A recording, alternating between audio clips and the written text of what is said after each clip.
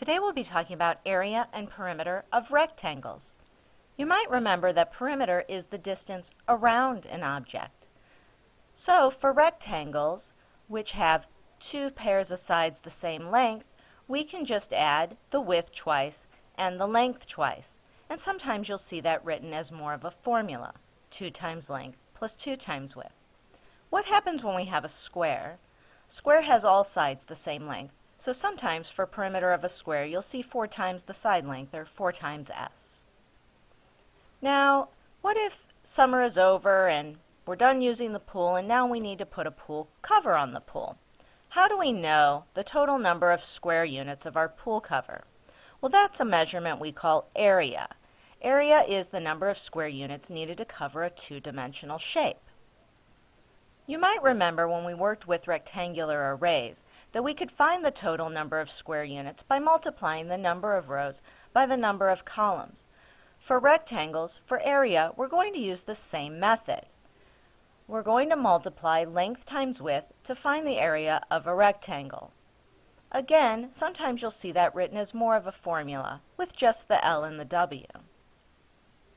Let's look at an example for perimeter. We have a rectangular candy bar with a width of 2 inches, and its length is 3 times the width. We're looking for perimeter.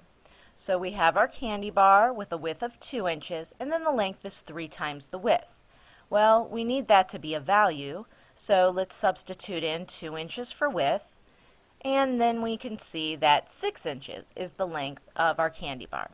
Now for perimeter, we can just use our 2 times length plus 2 times width, and now we have 2 times 6 plus 2 times 2, which will give us 12 inches plus 4 inches for a perimeter of 16 inches.